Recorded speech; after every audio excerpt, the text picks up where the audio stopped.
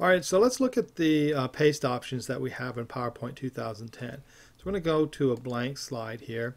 And what I've got here, this is actually a PowerPoint or PowerPoint shapes.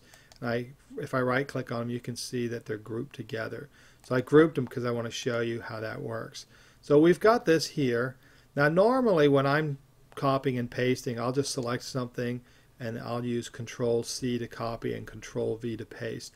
But you can also right click on it and as you can see here I'm going to go ahead and copy it. That puts it on the clipboard and now if I want to paste it uh, I could do control V but I'm going to use right click. So when I right click you'll notice now I have these paste options. So it used to just say paste but now I have paste options and what that's going to give me is a choice in how I want to paste this particular object.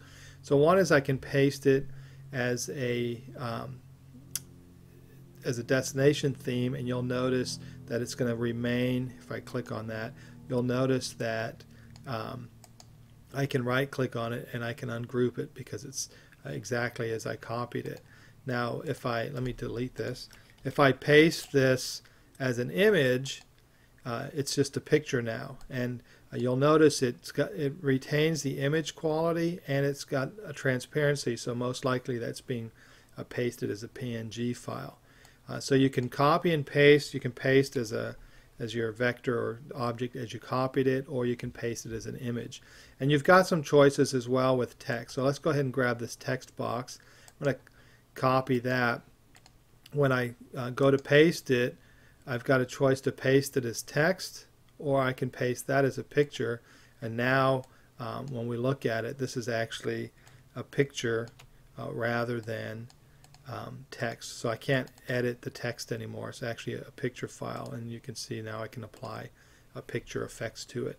So it's a kind of a neat way to quickly uh, create documents or you know one of the things I think is nice is let's say I'm using the um, equation editor and I just I just have this equation here.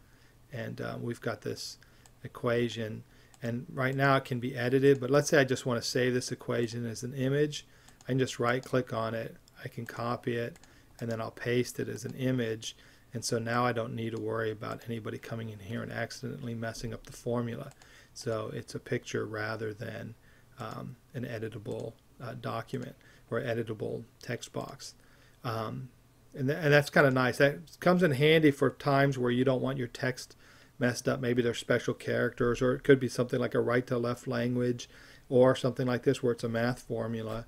Or you just want to create a document. So you want something that looks like a document. You quickly generate it. Um, you paste it as a picture. Um, let's see here. We're going to add some picture effects to it. Let's say we frame it up. Um, we'll frame it up like this and you can see now it's a, a picture and something I can work with rather than um, the actual text that I have to worry about scaling and sizing and all of that. So a lot of neat features in PowerPoint 2010 with the paste. of course, um, you, you've always got keyboard shortcuts. So let's let's delete some of this here. So I'm going to copy this again. Now I normally use Control V. So if I use Control V, how do I get those options uh, to change as a picture? So I can click Control here, and then that gives me the option. So I can click on H to paste it normally, or I can do a U to paste it as a picture. So let's let's go ahead and do that. So I'm going to do Control V, Control U, and now I've pasted it as a picture. So getting used to the keyboard shortcuts is really going to speed up some time as well. And then of course you've still got your old paste options where you can go to paste. You can see you've got your uh, preview options here and then you've also got paste uh, special where you can select uh, like we used to be able to do that. One last thing, if you want to turn the paste special off, just go to File, and then you can go into your options here.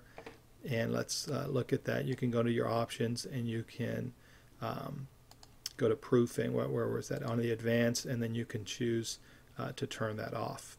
So um, if you don't like that feature for, or if it bothers you.